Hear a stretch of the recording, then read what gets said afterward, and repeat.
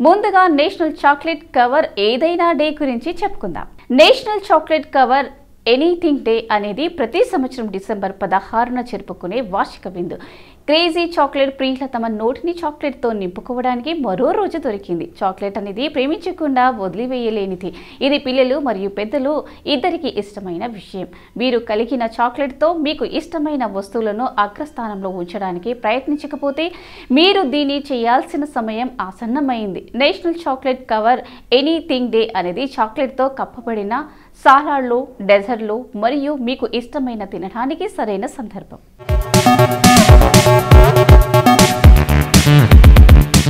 National chocolate covered anything day యొక్క ఖచ్చితమైన చరిత్ర మూలం మరియు స్థాపకుడు అనామకంగా ఉన్నారు అంతే చాక్లెట్ మా ఆల్ టైమ్ ఫేవరెట్ సుదీర్ఘ సాంప్రదాయాన్ని కలిగి ఉంది. చాక్లెట్ అనేది టియోబ్రోమా కోకో గింజలు కాల్చిన మరియు మెత్తగా తయారు చేసిన తీపి గోధుమ రంగు ఆహారం చాక్లెట్ తయారీ. పదిహేడు వందల యాభై బీసీఈ నాటిది. ప్రపంచవ్యాప్తంగా చాక్లెట్ ఇప్పుడు అత్యంత ప్రజాదరణ పొందిన ఆహార రకాల్లో ఒకటిగా మారింది మరియు రుచులకు ప్రాధాన్యత ఇవ్వబడుతుంది.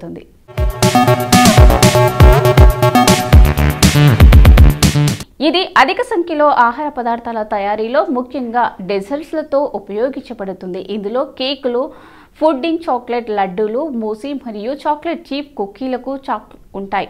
చాక్లెట్ని చల్లని మరియు వేడి పానీయాలతో కూడా తెలివిగా ఉపయోగిస్తారు. చాలామంది ప్రజలు చాక్లెట్ మిల్క్ లేదా హాట్ చాక్లెట్ తాకడానికి ఇష్టపడతారు. అనేక రకాల చాక్లెట్లు అందుబాటులో ఉన్నాయి. వీటిని మీ ఆహారంలో అగ్రస్థానంలో ఉంచడానికి ఉపయోగించవచ్చు. ఇది తీపి తీయని semi sweet dark chocolate cocoa milk chocolate white chocolate bitter sweet మరియు మరిన్ని ఉండవచ్చు.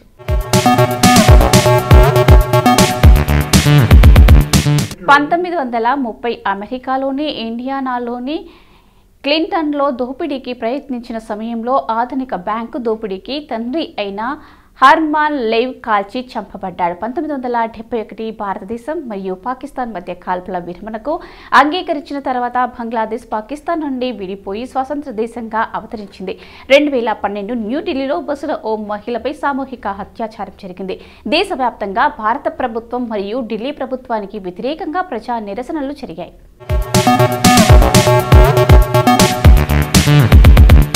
పంతొమ్మిది వందల పద్దెనిమిది వీసాలు మిసివిసియస్ క్యాప్సికస్ పంతొమ్మిది వందల ఇరవై చైనాలోని కాన్సస్ ఫ్యామిలీన్స్లో సంభవించిన భూకంపం కారణంగా లక్ష మందికి పైగా మరణించారు.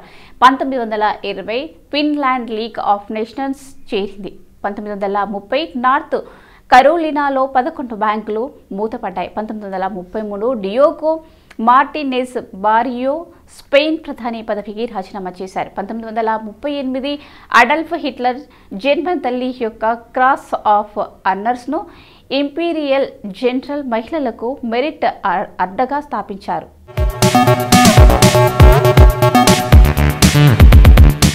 పంతొమ్మిది వందల ముప్పై తొమ్మిది సుమా మొదటి యుద్ధం మొదలైంది. పంతొమ్మిది వందల నలభై రెండు సోవియట్ యూనియన్ టాక్సింగ్ కాయా రెండు రెడ్ను ప్రారంభించింది. పంతొమ్మిది వందల నలభై నాలుగు రెండవ ప్రపంచ యుద్ధం నాజీ జర్మనీ యొక్క వర్ మ్యాచ్ తన చివరి దూకుడు యుద్ధాన్ని మోస్టెన్ ఫ్రంట్లో ప్రారంభించింది. పంతొమ్మిది వందల నలభై ఆరు థాయిలాండ్ ఐక్యరాజ్య సమితిలో సభ్యత్వం పొందింది.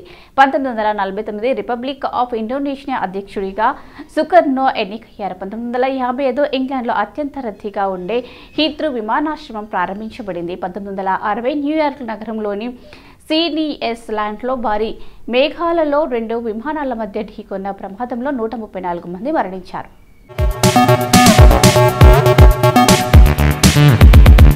పంతొమ్మిది వందల అరవై అమెరికాలోని న్యూయార్క్ నగరంలో జరిగిన విమాన ప్రమాదంలో నూట ముప్పై ఆరు మంది చనిపోయారు. పంతొమ్మిది వందల అరవై తొమ్మిది మరణ శిక్షను పూర్తిగా రద్దు చేయడానికి బ్రిటన్ పార్లమెంట్ అనుకూలంగా ఓటు వేసింది. పంతొమ్మిది వందల ఎనభై ఆరు కజాకిస్తాన్ కమ్యూనిస్ట్ పార్టీ మొదటి కార్యదర్శిగా దిమ్మన్ తేన్ కోనాయేవ్ తొలగించబడ్డారు. దేశం వెలుపల అల్లర్లు రెచ్చగొట్టబడ్డాయి. పంతొమ్మిది వందల తొంభై ఏడు జపానీస్ టెలివిజన్ సిరీస్ పోకీమాన్ నుండి ఎపిసోడ్ డాన్యో సెన్షి ఫోర్ ఖాన్ ఆరు వందల ఎనభై ఐదు మంది పిల్లలలో మూర్ఛలను ప్రేరేపించింది. రెండు వేల ఆరు నేపాల్లో అంతరిక్ష రాజ్యాంగం ఖరారు చేయబడింది. ఇందులో భాగంగా రాజు జ్ఞానేంద్రను దేశాధినేత పదవి నుంచి తొలగించారు.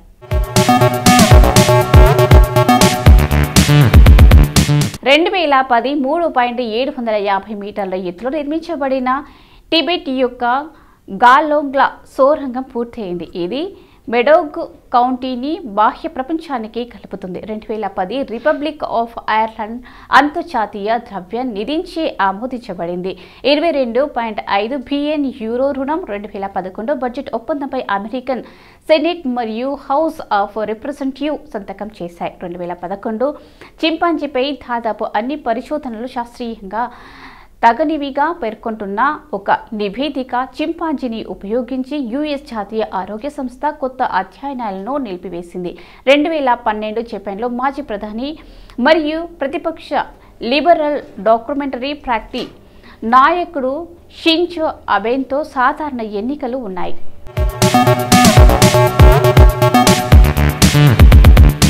రెండు వేల పన్నెండు దక్షిణాఫ్రికా vice president Kgalema Motlanthe African national congress ANC ప్రారంభోత్సవంలో అధ్యక్షుడు జౌకబ్ జూమా చితపాటి నాయకత్వాన్ని సవాలు చేశారు. రెండు వేల పదమూడు రోబోట్ తయారీదారు బోస్టన్ డైనమిక్ తెలియని మొత్తానికి గూగుల్ కనుగొని చేసింది. మొదటిది యుఎస్ సైన్యంతో ఒప్పందం కుదుర్చుకుంది.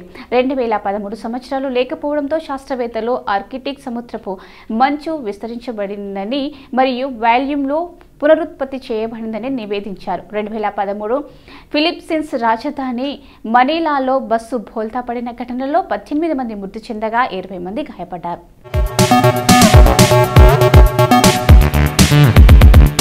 రెండు వేల పద్నాలుగు యాపిల్ ఐఎన్సి తన ఐట్యూన్స్ ఏడు పాయింట్ సున్నా అప్డేట్తో పోటీ సంగీత ప్రదాతలను నిరోధించడానికి ఆరోపిస్తూ అవిశ్వాసం కేసును గెలుచుకుంది.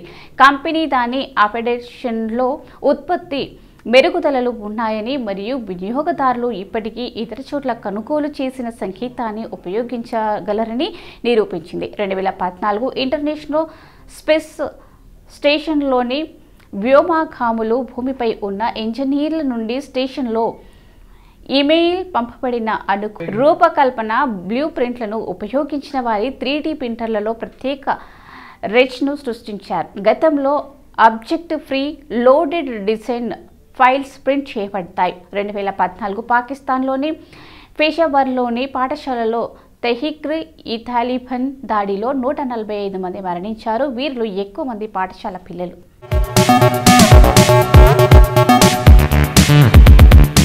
అదుర్తి సుబ్బారావు తెలుగు సినిమా దర్శకుడు రచయిత నిర్మాత పంతొమ్మిది వందల పన్నెండు సంవత్సరం డిసెంబర్ పదహారున రాజమండ్రిలో తహసీల్దారు చిత్తన్న పంతులు ఇంట జన్మించారు.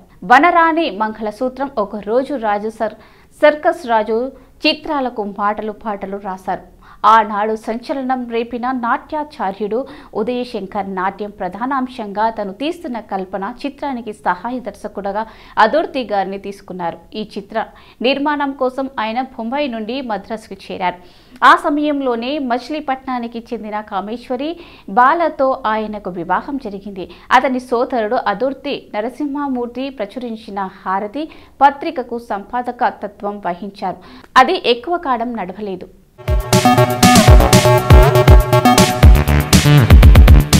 సో ఇదండి ఇవాళ best of the day episode. ఈ ఎపిసోడ్ అనేది ఈ రోజుకి సంబంధించిన కొన్ని ఆసక్తికరమైన విషయాలు తెలుసుకోవడానికి ఉపయోగపడింది అని అనుకుంటూ మళ్ళీ రేపటి ఎపిసోడ్లో మళ్ళీ కలుసుకుందాం. చిన్న టేక్ కేర్. బాయ్.